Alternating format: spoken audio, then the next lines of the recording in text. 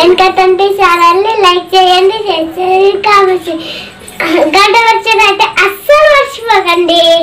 పెండింగ్లో ఉన్న స్కాలర్షిప్లు విడుదల చేయాలని విద్యార్థి సంఘాలు మరియు ప్రైవేటు కళాశాలల అసోసియేషన్ యాజమాన్య సభ్యులు ఆందోళన చేశారు.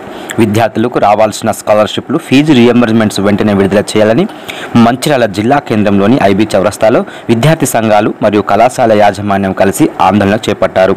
గత మూడు సంవత్సరాలుగా స్కాలర్షిప్లు రాక విద్యా సంస్థలు అనేక సమస్యలు ఎదుర్కొంటున్నాయని తెలిపారు. సమస్య పరిష్కారం చేయకపోతే నిరవధిక సమ్మె చేస్తామని హెచ్చరించారు. ఈ కార్యక్రమంలో పీడిఎస్సి విద్యార్థి సంఘం రాష్ట్ర ఉపాధ్యక్షులు శ్రీకాంత్ ప్రైవేటు కళాశాలల అసోసియేషన్ సభ్యులు సివి రామన్ కళాశాల నుండి నర్సయ్య వాగ్దేవి నుండి మల్లయ్య వివిడిస్ నుండి చంద్రమోహన్ గౌడ్ మిమ్స్ నుండి శ్రీనివాస్ ఎస్ఎండిసి నుండి ముఖేష్ శ్రీహర్ష నుండి భూమయ్య ఏఎఫ్డి నాయకులు సన్నీ గౌడ్ ఎస్ఎఫ్ఐ నాయకులు తిరుపతి తదితరులు పాల్గొన్నారు.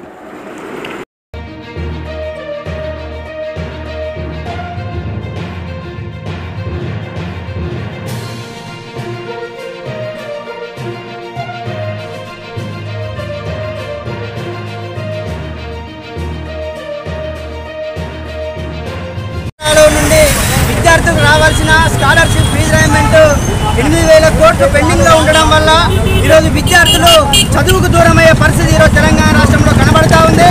దాంతో భాగంగానే ఏదైతే డిగ్రీ పీజీ కళాశాలలో నిరోధక సమ్మె బంద్లో భాగంగా ఈరోజు మంచిర్యాల జిల్లా కేంద్రంలోని ర్యాలీ నిరసన తెలపడం జరిగింది.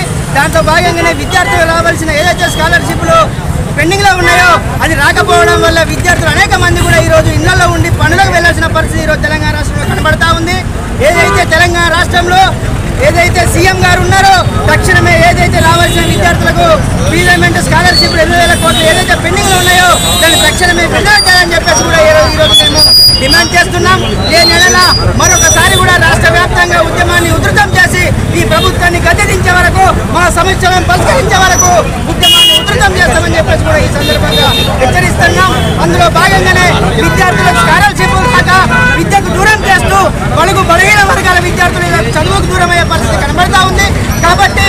నిమ్మకు నీరెత్తినట్లు వివరిస్తున్న ఈరోజు సీఎం రేవంత్ రెడ్డి మీకు కళ్ళు కనబడట్లేదని చెప్పేసి కూడా మేము ప్రశ్నిస్తా ఉన్నాం.